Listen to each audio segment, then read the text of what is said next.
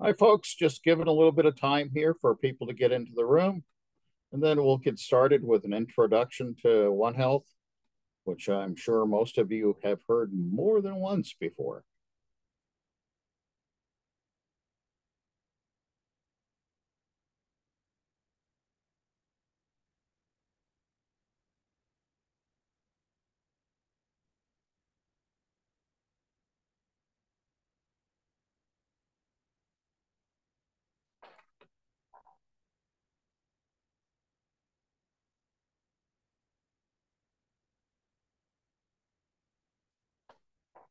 Well, I'm going to get started with my introduction. Welcome to the fifth One Health seminar of the spring semester. Almost down to the wire here. The semester is winding down within the next couple of weeks. Uh, One Health, we're still going strong here. So we've we've got another great speaker tonight. For those of you who may not be familiar with the One Health concept, here at Del Val, we really look at this as recognizing the fact that we're all on one planet. Um, you know, there's people, but there's also a dependency upon the environment, a dependency on the interactions with the animal life on the planet as well. And certainly they are dependent upon us to a great extent, given our numbers and um, how we really dominate this planet. The One Health concept is also looking at this from more of a socio-ecological model as well, and recognizing that it often takes a transdisciplinary approach to solve most of the problems that we face, whether that's at a local level or whether it's at a national or international level. Uh, and the best way I think to describe this is just that it's good to be able to listen to others, hear what they have to say, get their point of view. Uh, if you do, you come up with a much better solution than you do staying within your own uh, particular silo or your own particular discipline. Uh, and if you're a wildlife person, it's kind of important to understand the social implications of activities or to understand the economic components of things. And uh, vice versa, these all go back and forth amongst each other. And so I think that Del Val's uh, student body is a good representation of all the different disciplines and and we're small enough that we should recognize how important it is to work together. Let me try to get to my next slide. And so some of the ways that we look at this is is really through education. And then if you're at del val within your first year you've had an introduction to the one health concept uh, hopefully, you've been introduced to the One Health seminar series as well. We incorporated across a number of courses. We have a One Health Communications minor. If you don't aware of that, please get in contact with me. I'd be happy to talk to you about it, uh, or any of our folks from the English department as well. Uh, research is another component, reaching across the island, and we have a great student research program and I strongly encourage students to get together and come up with ideas because it truly is student research, not that you're doing our research.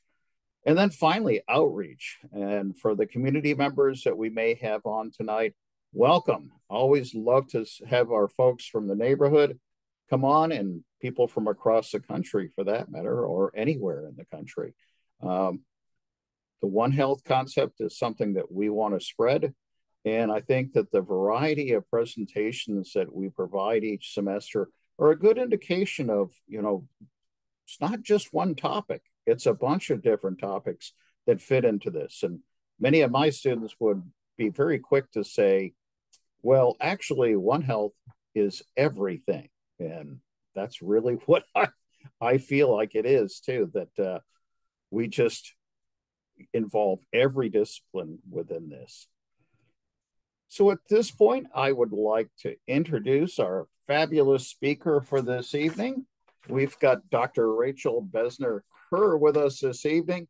Uh, she is a professor in global development at Cornell University and does research in Africa on sustainable agriculture, gender, climate change adaptation, food security, and nutrition. Does that cover most of our disciplines? I think a good portion of them. Uh, she has published over 100 peer reviewed scientific papers. She was a coordinating lead author for the United Nations Intergovernmental Panel on Climate Change. I'm teaching a climate change course right now, and certainly everybody in that class is well aware of that group as well. Uh, in 2022, Impacts Adaptation and Vulnerability, Chapter 5. Dr. Bezner Kerr also served as a member of the high level panel of experts for the United Nations Committee for Food, World Food Security, co authoring the 2019 report on agroecology. Well, um, I think that you really have hit on a lot of a lot of areas for our students and I certainly welcome you and thank you so much for appearing with us tonight. Thank you so much for that uh, lovely introduction. And I'm really delighted to be here. Uh, it's great to hear about the One Health program. It's uh, really speaking my language. Uh, so I'm really excited to talk to you today. I'm going to talk about agroecological approaches to sustainable food systems. So to do that, I'm going to give a brief overview of what I mean Oh, there's someone raising their hand. Um, yeah, I'll check into that. Okay, um, I'm going to give a brief overview of what I mean by agroecology, and I'll also be touching on some of the core findings from, oops, uh, from um, the uh, Intergovernmental Panel on Climate Change as it relates to the food system. Uh, so agroecology is like One Health. It's a holistic concept and it's it's really a an approach to food production and food systems that tries to use both ecological and social principles and as it it not only uh, encompasses a set of practices, but it's also a scientific endeavor of bringing together agronomy and ecology along with social uh, justice principles. So at the farm level, you can think about principles such as fostering biodiversity um, at the farm and landscape level, I should say, uh, fostering biodiversity, um, uh, uh, strengthening soil health, building synergies between plants and animals within the farm system, encouraging recycling of en energy, nutrients, and water, and supporting animal health and welfare, along with reducing reliance on fossil fuel-based and toxic inputs. Um, but as uh, an, a holistic approach to food production, agroecology goes beyond the farm and field level and really thinks about the food system as a whole. And so some of the principles that are agroecological include co-creation of scientific knowledge around food systems. So food producers and scientists working together to address uh, problems, building connectivity between producers and consumers, ensuring that the food system addresses social values and uh, nutritional needs in communities and uh, produces healthy diets uh, and sort of democratizing the food system, allowing everyone to have a say in how food gets produced and uh, who produces it, and also addressing questions of access to land, access to and control over seeds and water. And so these are the broader um, dimensions of of uh, agroecological principles. And so it, it go, really goes beyond trying to grow food ecologically to thinking about having a, a food system that addresses health, nutrition, social, and um, economic needs uh, of, of uh, food producers and consumers. And a key component of agroecology, and this, this also aligns with what uh, Reg was describing in terms of the One Health approach, is this co-learning, this co-development of knowledge around food around food systems. And so this includes drawing on indigenous and local knowledge and using participatory methodologies to address problems within the food system. Uh, so this is, is really a, a core component of agroecology. As part of my uh, work on the UN high-level panel of experts for the Committee for World Food Security, that's a mouthful, um, we did an assessment of the literature on whether agroecology can actually deliver in terms of food security and nutrition. And uh, this is an approach that's been operating for several decades, but the question that was really skeptically put to us was, is, is there evidence that it can actually improve food security and nutrition? So we reviewed um, thousands of articles, and we found a subset that addressed this question of whether agroecological practices can improve uh, food security and nutrition. And we found that 78% of them showed evidence of positive outcomes in terms of food security and nutrition. And uh, only one showed negative outcomes, and the, the rest showed mixed, both positive and, and negative outcomes. And what we found was the more complex the agroecological system, so not just one practice such as crop diversification, but really a combination of practices, including these more social, political aspects such as farmer to farmer teaching and learning, these were more likely to have positive food security and nutrition outcomes. Okay, so that's a brief overview of what agroecology is, and I'll, come back to it as we go through different examples because it may seem somewhat abstract at this point. Um, Reg mentioned that I served on the um, IPCC, and I was privileged enough to uh, coordinate, co-coordinate the chapter on food systems, looking at climate change impacts, uh, vulnerability, and adaptation within the food system. And this report was released just as the war, uh, the conflict in the Ukraine uh, uh, uh, happened. And so you may not have noticed the headlines, but uh, just to summarize, we found strong, robust evidence, uh, reviewing the literature from the past seven years, the scientific literature, strong evidence that climate change was already impacting food production systems and having subsequent impacts on food security and nutrition globally and we have a robust list of the different ways that climate change is impacting food systems.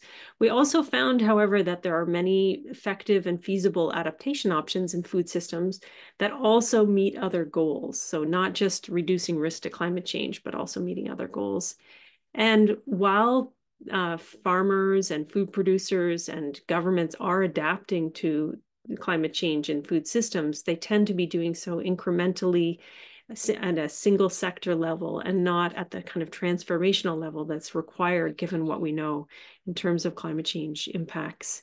And we also found there, there's robust evidence that taking an ecosystem based approach to food systems, such as agroecology, support food security as well as these other, as well as many other benefits. And I'll, I'll come back to that. And importantly, adaptation strategies need to be inclusive and really involve those groups most impacted and who may be already socially marginalized within food systems. So these include low income groups, um, uh, small scale food producers, indigenous peoples, and uh, farm workers. So involving them from the start in adaptation strategies is really crucial to avoid uh, the adaptation strategy worsening outcomes for them. Some of the adaptation options that we reviewed, um, and we reviewed a, a, whole host of them in the literature, include the, the most common that people think about in food systems is changing the seeds, changing the crop varieties. And cultivar improvements do reduce climate risks, but there are many other strategies that can be taken and more often at the at the kind of landscape level or at the, the regional level rather than just at the farm level some of these include agroforestry systems, agroecosystem diversification, community-based adaptation, which really involves involving a whole community and developing a strategy, and agroecological approaches. And many of these strategies provide other benefits besides reducing climate risk, such as supporting livelihoods, supporting health and well-being, and importantly, supporting the ecosystems and bio biodiversity that support food systems in turn. So things like pollinators, water quality, um, and uh, natural enemies that eat pests, for example. And uh, addressing social inequities in food systems is crucial if we want to have adaptation strategies mm-hmm. that really work uh, and, and don't marginalize uh, people further. So oftentimes in food systems, more technical approaches are, are thought of as the strategy to address the climate risks. So, for example, irrigation is a very common strategy that uh, governments and um, uh, other uh, private sector and farmers think of as, as a way to deal with climate risk. But without paying attention to who benefits from that technical strategy, who has access to it, who has control over it, um, and what some of the ecological and social outcomes might be from in, in introducing that technology, uh, it can actually lead to worse outcomes, both in terms of greenhouse gas emissions, but also in terms of um, vulnerability for particular social groups. And so taking a really integrated approach, similar to the One Health approach, is really crucial if we're going to transform our food system for being resilient to climate change risks. And some of those integrated approaches mean looking at diet choices as well as the food production end. So not just thinking about how we're producing food, but thinking about addressing things like food waste and what kinds of foods we're, we're producing. And in the IPCC report, we found robust evidence that these ecosystem-based approaches, such as agroecology, reduce climate risk as well as supporting these other benefits. Um, so these include, in terms of ecosystem services, things like pest control, uh, buffering of extreme temperatures, and carbon sequestration and storage. So you really get these multiple benefits from taking this more holistic approach that takes into account kind of ecosystems and biodiversity. So what does this really look like? It, it still sounds quite abstract, I think, from, from your perspective, I, I suspect. And so um, I'm going to go through a number of examples uh, from, the, from the scientific literature, and then I will give you an example from my own research in Africa. So first of all, a sort of integrated approach would include supporting local producers to produce more diverse foods so not just producing one grain or one animal, but producing multiple crops and animals on a farm and across a landscape. And then supporting them to find markets. So building capacity for those producers to diversify their farms uh, through um, supporting things like cooperatives, uh, uh, allowing for public procurement um, for um, purchasing food from these diverse producers and giving it or uh, pro providing it to schools and hospitals and other public institutions, universities, um, and and then diversifying the foods that kids are eating in school meals through homegrown um, producers. So it's it's kind of supporting uh, more diversification of foods at multiple scales and at multiple points in the food system. Another example from a, a, kind of coastal perspective, so maybe not something that one thinks about when you're in upstate New York, but an important um, food source for many communities across the world is thinking about community-based mangrove restoration on coastal uh, communities, which supports um, resilience to extreme events such as storm surges and floods, but also provides an important habitat for fisheries and um, bolsters uh, biodiversity in those coastal systems and can also be an important source of mitigation for greenhouse gas emissions. So you have this multiple benefit uh, happening again. It does require training and support and sometimes conflicts with other livelihood strategies. So trade-offs have to be made. Uh, for example, shrimp aquaculture can conflict with coastal mangrove restoration, but this is an example of what a kind of ecosystem-based adaptation strategy might look like on in a coastal system. And I'll tell you the next one if it lets me switch. Another example is silvopastoral systems. So integrating animals and trees into, uh, into a producer system. And this provides shade for animals, so it actually can improve their health and it can increase their productivity. You can also get products from the trees which then can be a source of livelihood for the producer, but also can mitigate risk if your animals aren't doing as well one year or the prices aren't as good one year. You may benefit from the tree crop that you're growing for example. And again you have carbon sequestration. Um, so you have these multiple benefits as well. The manure from the animals can improve the soil health and so you get this kind of ecosystem service benefit um, that, that uh, happens in silvopastoral systems. It does require ca capacity building and real shift in the way animals are, are raised and may need new infrastructure support. And you may need to, to develop markets for this kind of um, meat production. Another example of what uh, sort of ecosystem-based adaptation in the food system might look like in an urban setting is supporting urban gardens in low-income neighborhoods. Urban agriculture, uh, we did a review of the literature for the IPCC report, and it doesn't necessarily serve as a climate change adaptation strategy. It may be quite energy intensive depending on how um, plants and animals are being raised in the city. Um, and it may be only serving um, high income households, again, depending on where it's placed and what kinds of foods are being produced and how it's being produced. But there is strong literature to support that if it's placed in low income neighborhoods carefully with their input into where are good locations, and if there's capacity building around uh, gardening and interest in gardening amongst low income dwellers in that region.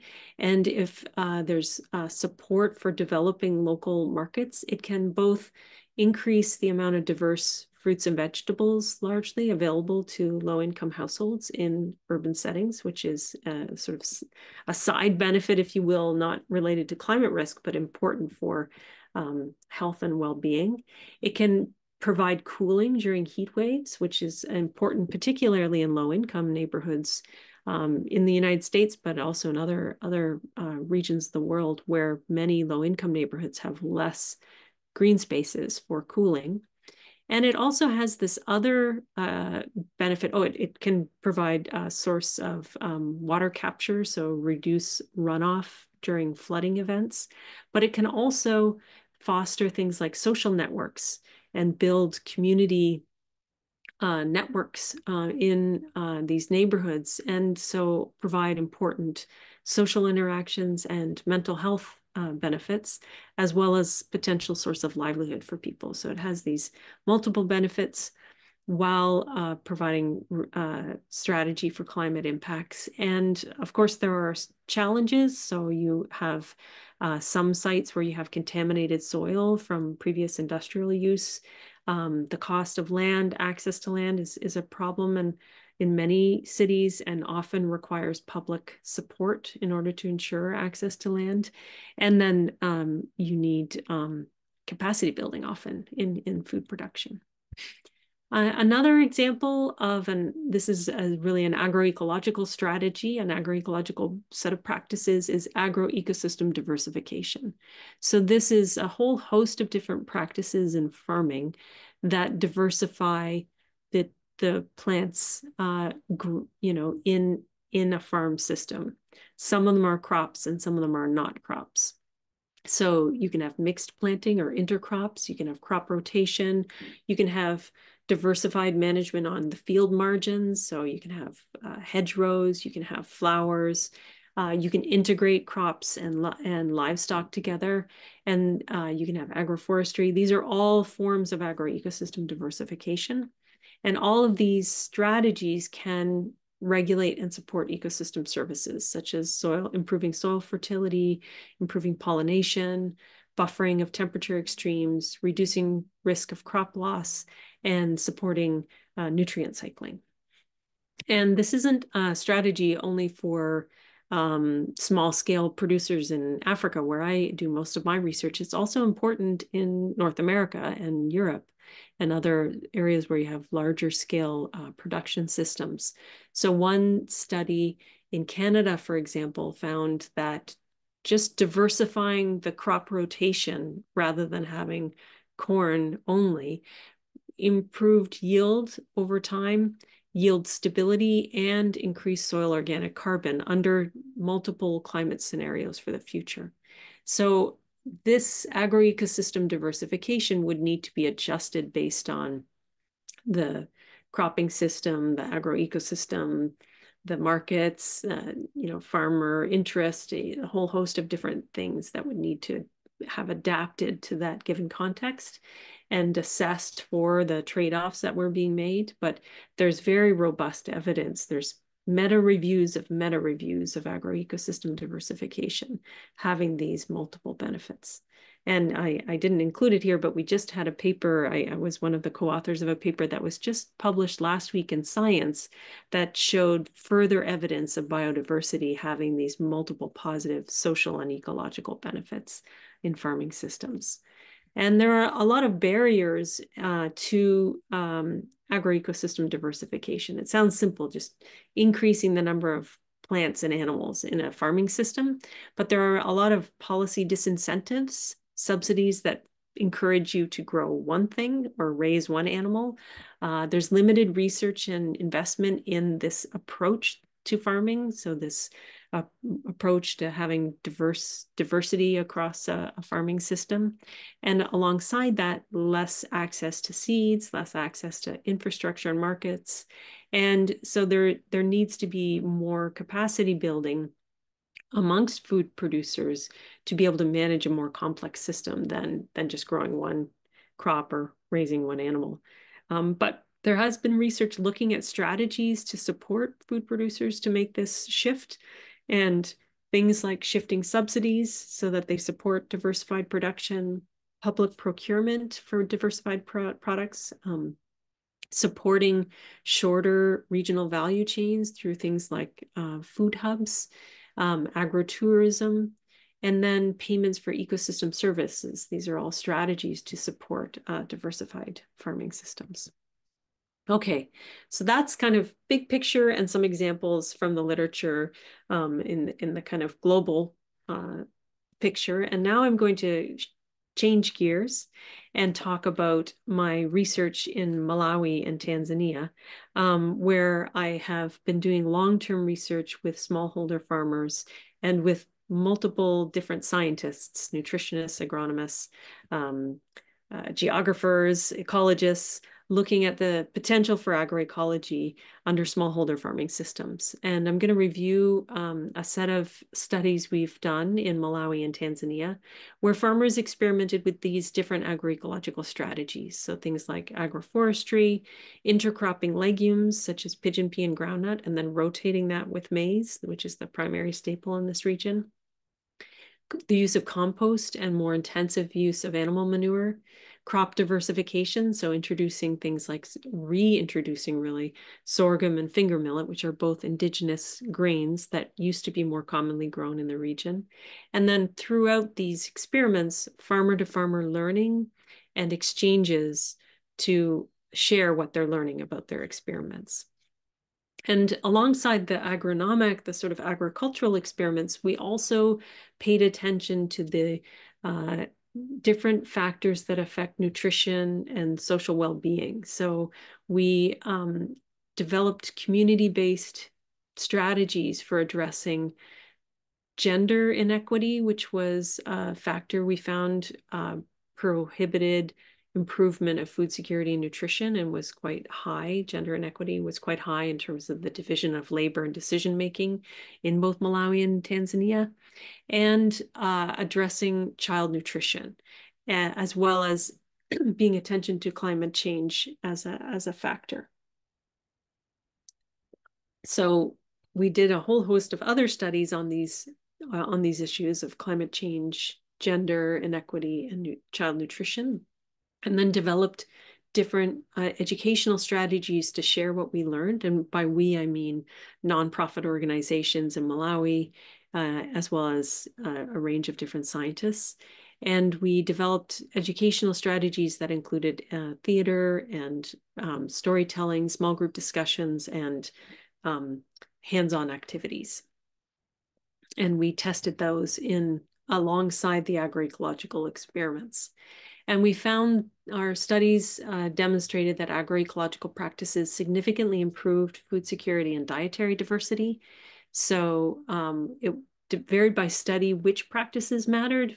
Crop diversity and compost application were consistent across studies. And then the other practices varied by study. Um, so, for example, we found that women's dietary diversity had improved in Malawi and the overall household food security had improved. In Tanzania, we found that children had improvements in their uh, dietary diversity. And we found that there were multiple pathways that households were improving their food security. It wasn't only that they were growing more foods and then eating those foods, they were doing things like improving their soil health and then not having to spend as much money on fertilizer and using that money to invest in things like dry season vegetable gardens or in livestock. Um, and they were also saving money on foods that they had previously purchased, and they were using that money to invest in things like livestock. Uh, and so our studies found that households using these different agroecological practices significantly improved their income. And they also no longer had to, reported no longer having to work on other people's farms uh, because they produced enough of their own foodstuffs that they didn't have to resort to working on other people's other people's farms during the growing season, which is a common strategy in Malawi and Tanzania for food insecure households. And they were able to use that time to invest in their own food production. So it was this kind of virtuous circle where they found that they were improving their food security. And this allowed them to then invest more time in getting better uh, food production practices and as well they did they they increased the amount of food and seed sharing in their own communities so there was this kind of wider community uh, benefit in all cases, we found that gender relations really mattered for agroecological impacts. So, for example, in Malawi, we found that when farmers discussed with their spouse different decisions about food production, they were more likely to improve their food security and dietary diversity. And in the Tanzanian case, we found that those households that were participating in the agroecological intervention were more likely to, men were more likely to help in household work, uh, things like cooking and laundry, and that this was significantly associated with a reduction in women's likelihood of depression. So um, it had mental health benefits as well as uh, nutritional benefits. And our studies found that farmers increased their knowledge about ways to improve soil quality and uh, prepare diverse foods and address pests and diseases and improve soil uh, health, and that this placed them in better uh, can in a better uh, situation in the case of a drought. Um, so they were more prepared to cope with drought and they were more organized and, and were sharing more knowledge around strategies to deal with climate change adaptation. We went back in the one case of uh, where we worked with 6,000 farmers in northern and central Malawi to assess impact after the intervention had finished. And we found that farmers were still, the majority of farmers were still using these practices. And uh, that if they had participated in these different farmer to farmer learning activities, they were more likely to be using more um, practices. Nonetheless, there are many um, political and economic challenges to an agroecological approach, including um, longstanding unequal access to land and a sort of international environment where monocropped um, intensified agriculture is being heavily promoted both by um, governments and by private sector actors. And um, this uh, another challenge is finding good markets for more agroecologically produced food, given the increased concentration on the retail side as well. Uh, this also makes it challenging for farmers. Um, and I mentioned already some of the different strategies that can be used to support agroecological transitions, um, including diverting of subsidies and Im implementing policies that support um, agroecological transitions, including capacity building, um, public procurement, and um, training in extension work.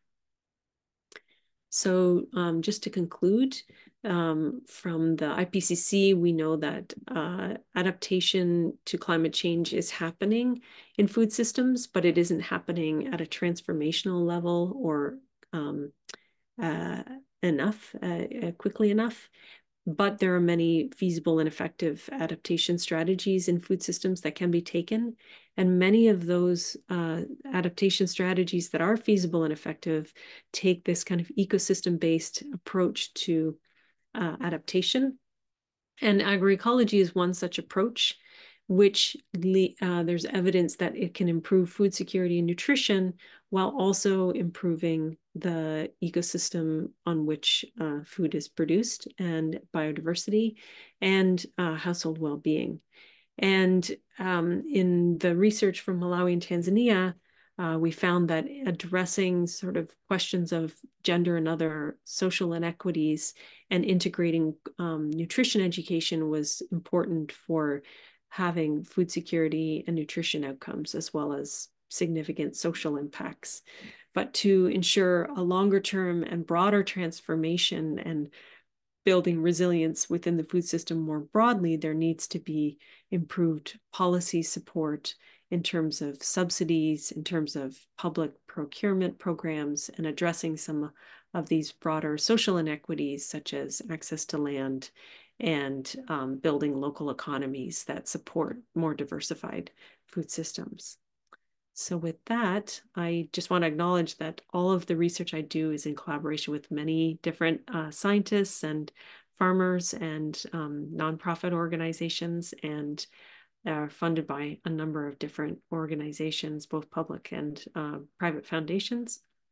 And I also want to acknowledge my fellow team members from the IPCC for the report findings that I presented uh, towards the beginning of the talk. And with that, I think I'm open for questions. Yeah, folks, if you will go ahead and put your questions into the Q&A. Actually, we've got one coming up. And uh, I, Rachel, will go ahead and read the questions to you so you don't have to worry about following along with what's going up on the screen. Uh, Anonymous asks, are there studies to further show the public that economically this is better for people to do all around and not just some hippie thinking? uh, yeah, that's a, a great question. There have been some studies looking at the economics of, of an agroecological approach. And there is evidence that it does have positive outcomes in terms of economic, um, in terms of farmer incomes and other measures, economic measures. There was a study that um, uh, was just published uh, two weeks ago on this. It, it's a challenging question though, because the current food production system is supporting a very different approach to growing food. And so in that context, it's very hard for a farmer who's trying to you know use agroecological practices to survive economically. So in the current context it's it's pretty tough to to manage it um, without more policy support. And that's very context dependent. I don't know if i've answered your question. I've got a rather strange question for you rachel. Um, do you feel like that potentially within the areas that you've worked that colonial rule actually moved agriculture away from practices that were probably better for the communities towards practices that are we're now trying to change back to polyculture and and something that has a, a bit more resilience to it that is such a great question. Um, I I do. I've actually studied that in Malawi, um, and I I teach about food systems. So I, I study a lot of history of different uh, global South countries. So yes, by and large, uh, colonial um, rule encouraged monocultures. Um, oftentimes, they took land away uh, from uh, local producers and they installed plantations. So sugarcane, of course, cotton, um, uh, you know, wheat, um, uh, tea, but and and intensified production. You know, long before synthetic fertilizer, uh, the kind of plantation system was developed under um, the slave trade and then under colonial rule. So under a course of you know, forced labor. Um, but at the same time, in places where the colonial governments were not uh, taking over the land for plantation agriculture, they were often very focused on getting local producers to grow one thing for their purposes. So um, whether it was, you know, in, in Malawi, they got pretty focused on corn. So corn, of course, is not native to Africa. Um, it came in with the Portuguese.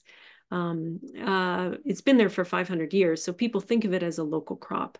But under the British colonial rule, it was heavily promoted um, by the by the colonial government for smallholders um, in order to provide food for their mines, their plantation workers, their colonial, uh, you know, uh, workers. And so they did encourage moving away from polycultures, moving away from uh, these, uh, you know, uh, these more healthy agroecological practices towards kind of intensive one crop producing systems.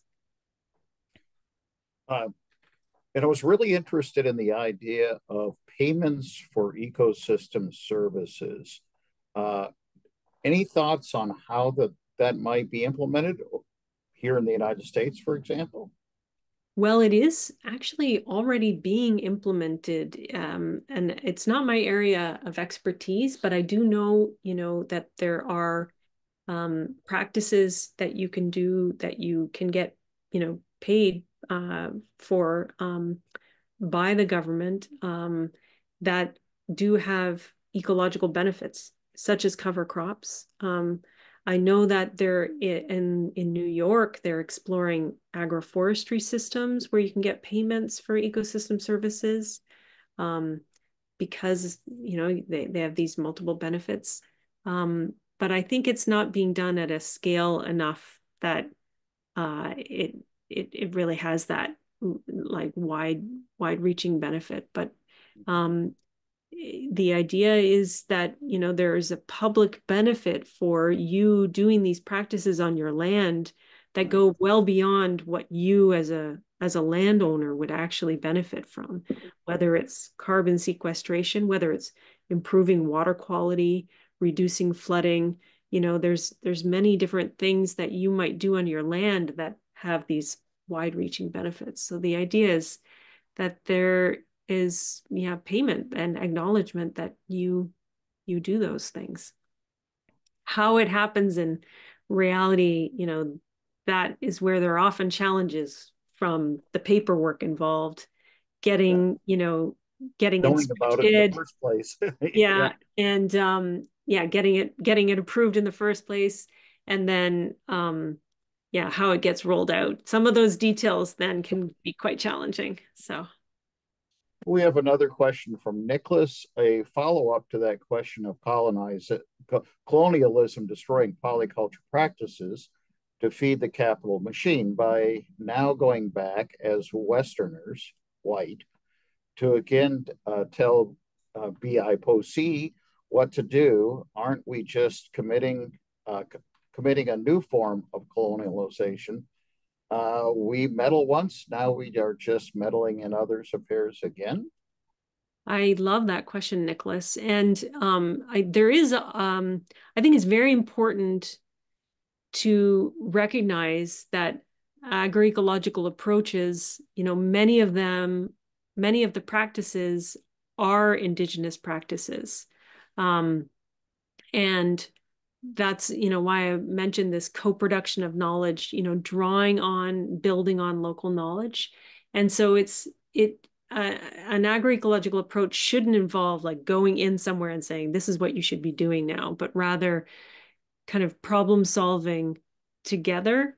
And some and and that means using indigenous knowledge using local experimentation and problem solving it does also involve science. So you know it there can be useful insights from scientific experimentation and research that go beyond what is known um, at the at, uh, by local indigenous people. Um, but you know working with malawian and tanzanian farmers many of them observe you know many of these strategies are ones that my grandparents used to use. Um, but we've been told for multiple decades that these are backwards, that these are, you know, uh, not modern. And and now I'm seeing that in fact they they are they are advanced. And so I'm I'm they, in many cases, farmers are reclaiming and taking pride in practices that were previously denigrated. So I think it's, I don't know if I've answered your question, but I think it it is very important to be very cautious about assuming, you know, that sort of Western modern science has the answer and recognizing very, very problematic power dynamics that can operate in the global South context and being really respectful and um, recognizing indigenous knowledge that preceded um, the the scientific research on agroecology. And, and I think the farmer to farmer kind of way of getting getting messages out are, are much better. And uh, a farmer is not going to tell his neighbor something that's that's not something that he's actually experienced as being successful. Uh, so I think that those partnerships between the community, the scientists, uh, and and people from the country itself uh, working together, kind of helping to sign, find solutions is much better way to go. Uh, Anne has a question. I just finished reading a book called When the Sahara Was Green. One point that the author made was that the indigenous peoples were successful in adapting to localized change, drought, flood, etc., by moving. Doesn't politics in the basic form, borders of countries, for instance, preclude population movement within a region? Is there a workaround for this situation? Hmm. Yeah, I mean, it's true that uh, in Africa, you know, many borders um, were created during the colonial period that separated people, pastoralists, for example, who had moved uh, in in a region to adapt to drought in a in a given place. Um, I think you know allowing for pastoralists to move across borders would be the workaround. I don't know how much openness there is to that in in places where you have pastoralists in particular is where I'm thinking about the need for people to move to adapt to uh, you know, to changing um, conditions, climate conditions. Um, but yes, it is it is a challenge. So one thing that comes to my mind, Rachel, is um, you know great work being done by the IPCC, great work being done by the UN in many different committees that are pulling together information, uh, making suggestions on a global level, not only to deal with climate change, but with biodiversity loss and a growing population and trying to reduce poverty and sustainable development goals. Are the developing nations really looking at these recommendations and trying to modify their own strategies? In particular, I'm thinking about within the US, I've had past experiences with USAID, and I, I worked in West Africa, and um, USAID being very focused on supporting industry, not necessarily in supporting the country. Uh, and I'm wondering, do we see this is even broader, or actually more down to the local level, extension services? are the land grant universities really picking up on these things and trying to modify their recommendations to to landowners yeah it's a good question i mean i think in the us context i think there's less the us um, extension service and usaid tends to be more focused on this industrial kind of intensified agriculture approach and kind of focused on industry. But there are um, places where uh, there's more openness. I know the University of Vermont, um, um, uh, more focused on an agroecological approach um, in their extension, and uh, they have an institute for agroecology now. Uh, so it does depend on the country. My own experience in Malawi, um, uh, you, you know there's conflicting interests within government and external actors who are all you know trying to say here's what you should do uh, you know there's fertilizer companies there's large foundations promoting a particular uh, approach. There's, you know, big companies, uh, there's donors, and then there's a highly indebted country um, that, you know, is dependent on foreign aid to operate. Uh, so they're a little bit uh, hamstrung but I do we we uh, collaborate a lot with Extension and with the regional governments in Malawi, and they're very excited about um, this approach and very very keen to collaborate. And uh, we've been having increasing discussions at the national level um, to try to promote this approach and to share our findings. And there is a lot of openness uh, at the national level, but they they have a lot of constraints. I mean a lot of constraints. So I'm sympathetic to those constraints. Do you feel that Canada is uh, is progressing more quickly than than the U.S. on?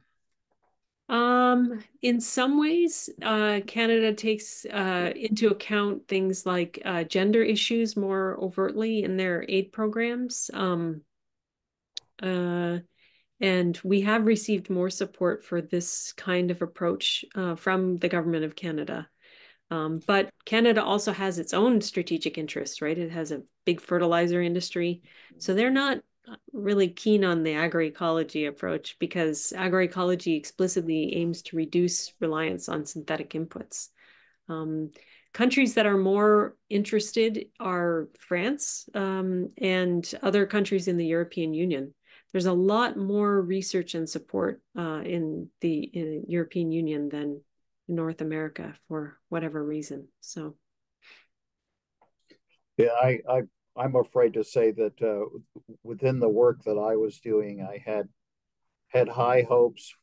I was working in Liberia during the Civil War, and uh, boy, uh, once the war ended, uh, plantations came in with a vengeance um, and the promise of jobs and money for the government. Uh, and yet now we have people who can't feed themselves because they no longer have land. Um, it's uh, it's rather frustrating. Oh yes, very much so. Uh, Nicholas doesn't have a question here. He's just talking to me and said, Will a recording be available? Absolutely. We always have recordings available after. And Nicholas, I'm so glad to see you here, and I will definitely be sending uh, you the video. And thanks, Nicholas. Uh, any more questions? We've got just about time for for one more or so. I find this fascinating, Rachel. I I just have been with my classes trying, we're approaching it from a biodiversity side, but also uh, just the idea that you can no longer operate in your own little silos. Uh, you've got to be looking at this across, uh, well, we've got global concerns and trying to take it from those global concerns, finding ways that we can move forward and then somehow getting that transmitted down to the ground where it can actually be implemented, be for the good of the people as well as for future generations to survive as well, mm-hmm. is uh, quite a challenge. Uh, I'm sure it's really rewarding to have your work actually come out in the form of the reports from the UN and IPCC.